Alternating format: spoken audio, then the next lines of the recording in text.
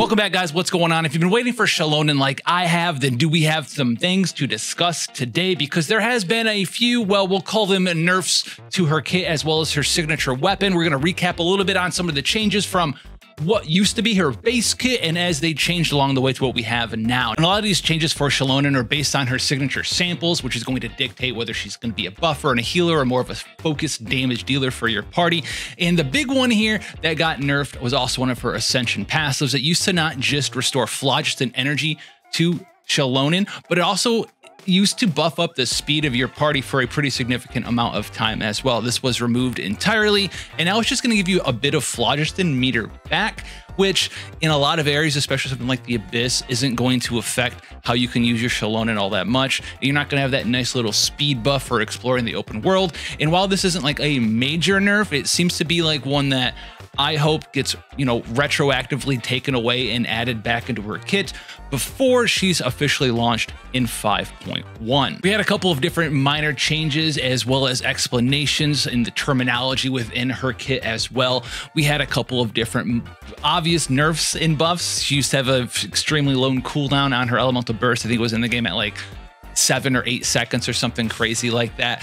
And now it's back up to the additional traditional 15 second. The energy cost was increased a little bit here as well, which means you're going to have to, in a lot of situations for Xilonen, give her a pretty significant amount of energy recharge because because of the way that her sample sources work, where you don't really want to fit her with a bunch of other Geo characters so you can activate her resistant shred for everyone in the party. But other than that, a couple of different changes to her defense multipliers as well as her defense healing multipliers for her elemental skill normal attack combos and elemental bursts as well. Nothing life changing though for the Xilonen fans out there. Now, some of the other things that were changed that are a little bit more life changing for us for Xilonen. On the plus side though, while Xilonen is your active character, her Geosource sample will always be active, meaning that if you're shredding to different resistances for enemies around you, maybe you're using just Xilonen and then three other characters that will change the different source sample elements. While Xilonen's active, you're still going to have that Geo one of hers active.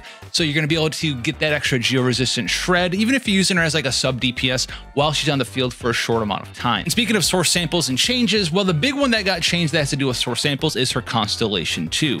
Her Constellation 2 got a new addendum to it. This is going to allow her geo source sample to always remain active at Constellation 2, whether is she on the field or off of the field.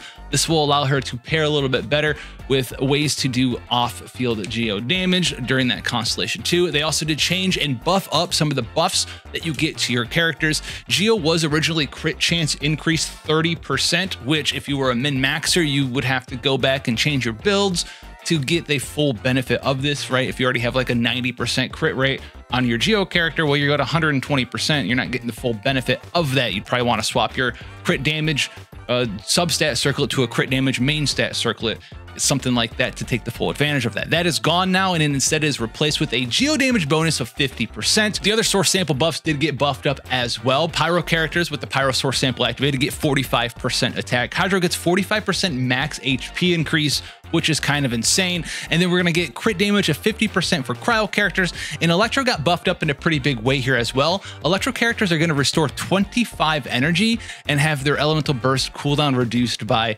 six seconds. This would be super awesome to pair with someone like Raiden Shogun to have an even shorter elemental burst cooldown, so you can use her burst to fill up everyone else's energy even more. And if you're Raiden Shogun's Constellation 6 for some reason, then not only are you reducing Raiden's burst with the C2 of Xilonen, but then you can use Raiden's burst to reduce the cooldown of everyone else in your party by five seconds as well, which is pretty insane. I don't know if you need that for anything, but that sounds like a very fun team. She also got some verbiage changes for her Constellation 6, where she's going to additionally, she heals nearby party members for 120% of her defense every one and a half seconds. That was in there in sort of made a little bit easier to understand. And then the big one here is going to be the final one, the big nerf, the signature weapon, the Peak Patrol song. Now, initially, the Peak Patrol song did do a couple of cool things. Initially, it started out as giving a stacking defense bonus to the wearer when they use uh, and hit an attack of their normal or, or plunging variety. And this would give you 6% defense increase at R1 up to 12% for six seconds. And you can get two of these stacks. So 12% max at R1, 24% max at Constellation 6. In addition to that, it would also give you a stack and crit chance and crit damage rate for the equipped character. So in this case, if Xilonen's using her weapon, crit rate and crit damage for her as well. And then in addition to that, for every 1000 defense that Xilonen had, she would give a damage bonus to everyone else in the party, starting at 8% at R1, going to 16% at R 5 And the cap for this at R1 is going to be 25.6%, and at R5 it was 51.2%. This was changed and buffed up in a couple of ways previously to get rid of that stacking crit rate and crit damage bonus for the equipped characters like Xilonen, and it buffed up the all damage bonus for all our party members, and it included Xilonen in herself,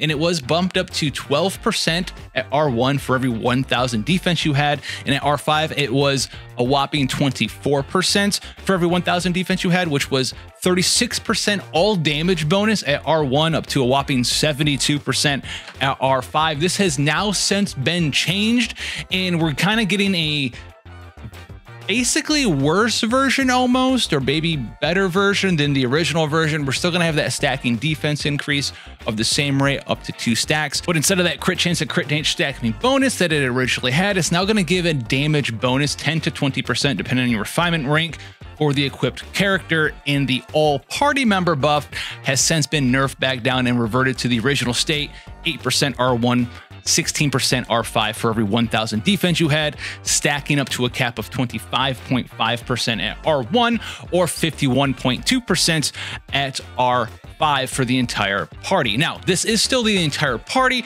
and so it's sort of a mix mash version of what they were trying out beforehand. Yes, it's 100% worse if you were looking just for that all wide party damage of Xilonen as a buffer. It's roughly like 11%, 12% weaker at refinement rank one for the rest of the party. But if you're looking for a main DPS Xilonen, well, this all party member damage bonus does work on her. And keep in mind, she's going to have her own damage bonus on top of that. So even with the minimum, you're going to get 20% at R1 self damage bonus, and then another 25.6% for a total of, you know, 45.6% damage bonus for Xilonen at R1 and 25.6% for everyone else. So compared to before, the damage bonus is going to be slightly better at R1 for the Xilonen, whoever's wearing the signature weapon, and slightly weaker for the rest of the party. So what's the nitty gritty? Has she been nerfed into the floor and unusable? No, she's still going to be a fantastic character. If out of all of the characters I've seen so far released for Natlan and even the back half of Sumeru, as well as Fontaine, I think she's maybe one of the most must pull characters still. I still think that Constellation Zero R1 is a fantastic way to just put her in any party basically, as long as you meet the requirements of the party composition, where you just don't overload on Geo characters. So you can make sure that you have the ability to transform at least two of those source samples.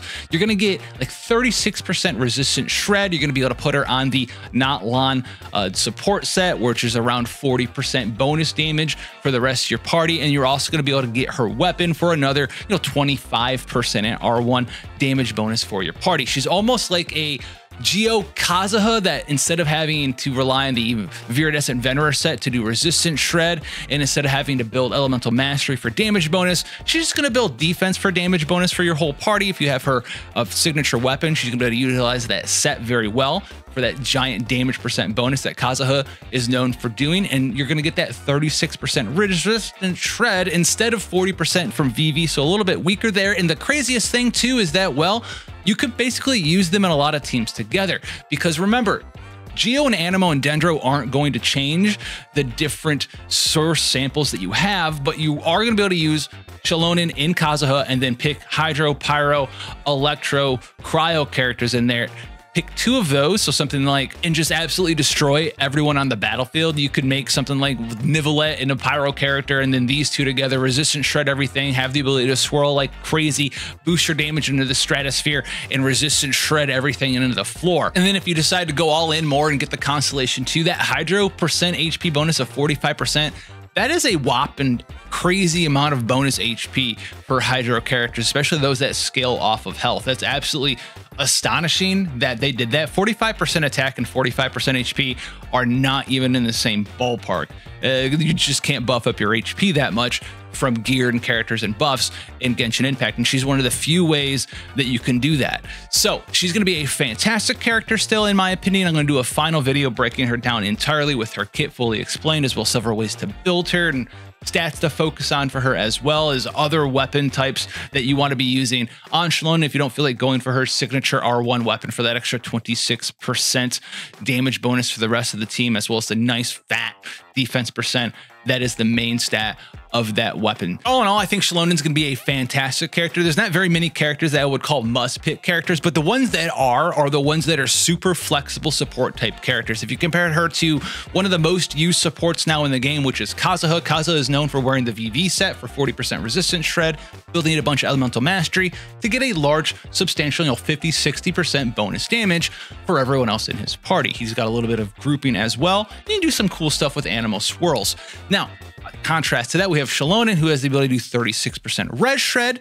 And then on top of that, can wear the Natlan set for 40% or so damage bonus for everyone in her party. And then if you put her signature weapon on here, then you're gonna get another 25% or so damage bonus, making her very similar to a Kazuha, and you can actually put them in the same team as well, which is going to be absolutely insane if you want to use, I don't know, Neuvillette and just make him better for some reason. So there's gonna be a lot of ways that you can use Shalone, and I'm looking forward to her. We're gonna have a full breakdown guide videos coming out in the next couple of days. So subscribe for those. Catch you guys in Genshin and other stuff as well. Take care.